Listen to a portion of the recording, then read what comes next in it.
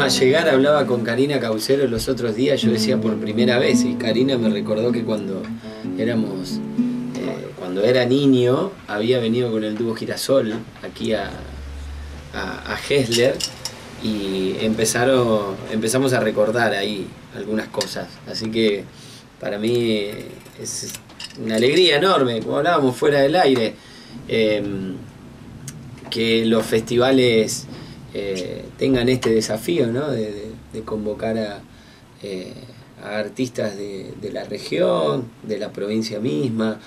Eh, es algo que a mí me gratifica gratamente, me, da, me da mucha pila, me inyecta energía de la buena para, para confiar en que esto que estamos haciendo está, está sembrando, tiene una buena semilla y, está siendo sembrada. ¿no? Para aquellos que aún no te conocen, o si a lo mejor conocen tu nombre, te han escuchado, pero no saben bien de qué se trata tu música, ¿cómo podrías describir?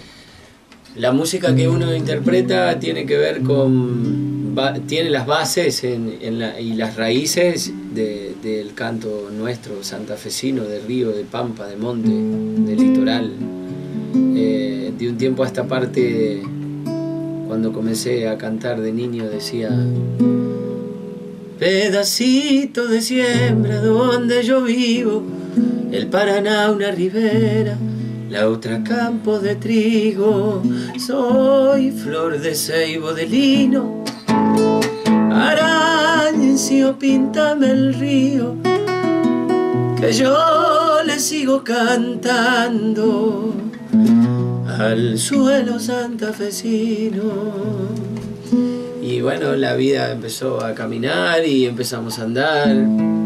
Y hoy por hoy tengo ya mi tercer disco, un disco de canciones propias, eh, donde me planto a, decir lo que pienso, lo que siento, lo que me atraviesa, eh, en letra, en música. Y bueno, eh, por eso lo defino como una música trovadoril que tiene que ver con ese sentir, ¿no? donde la donde la palabra tiene, tiene una función muy importante. ¿Tus referentes dentro del, del folclore ¿quiénes, quiénes son? ¿Los que te gustan? que dentro del folclore, eh, bueno, es inevitable.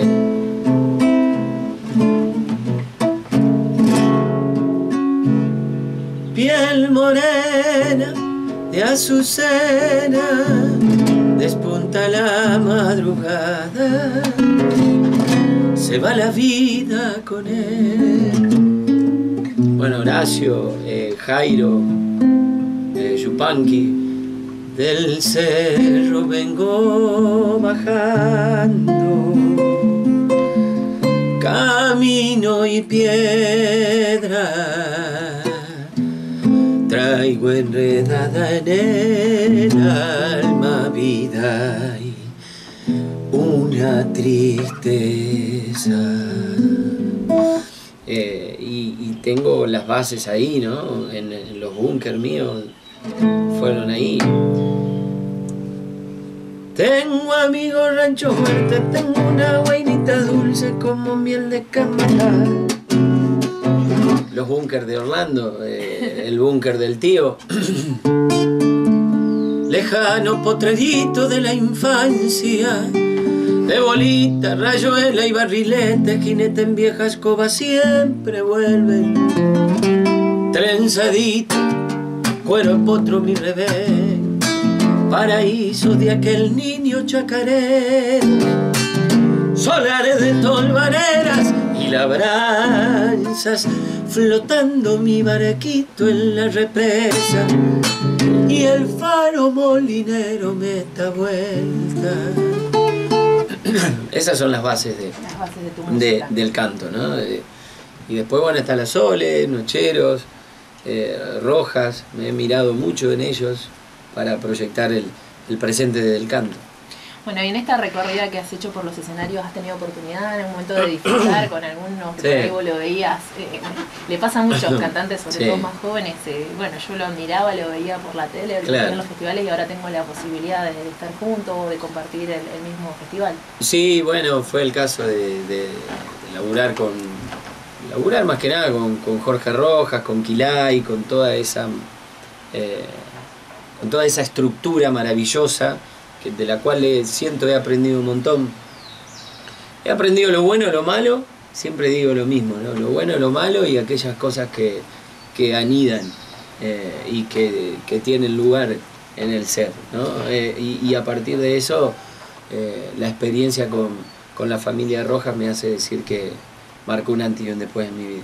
Vos componés, dijiste, Efraín, ¿es así? Sí. ¿Pensás solamente en componer canciones para interpretar vos o, te gusta también, o pensás en algún momento, bueno, una canción mía, me gusta esta canción, me gustaría la voz de tal persona? ¿Te gusta? Sí, yo compongo con lo que me pasa, ¿no? Un día estaba así y nació. Mi cantar sale del alma al entonar una canción. Es un mar de sentimientos que revelan lo que son viajar al universo donde habita la emoción y sentir en cada nota como late el corazón. Mi cantar sabe de amores, de tristeza y soledad. Siempre suele dar alivio si se tiene algún pesar como huellas en la arena que al final se han de borrar. Es así como las penas poco a poco se nos van. Si uno se pone a cantar, voy cantando lo que siento, lo que pienso, lo que soy a la vida y al dolor. Cada verso en mi garganta es ahora mi cantar. Al soltar mi voz al viento, voy diciendo mi verdad. En fin. Esta es una de tus últimas canciones. Sí, sí, la que más satisfacciones me ha dado, la que me permite vivir de lo que amo es una obra que, no la escribí pensando en, que la cante tal, eh, simplemente dije, che, eh, esto que me pasa, eh, ¿por qué me pasa? ¿Por qué estoy mal? Si lo que vine a hacer es a cantar. ¿Por qué estoy bien? si estoy lejos de mi familia, de mi, de mi hija, ¿por qué estoy bien?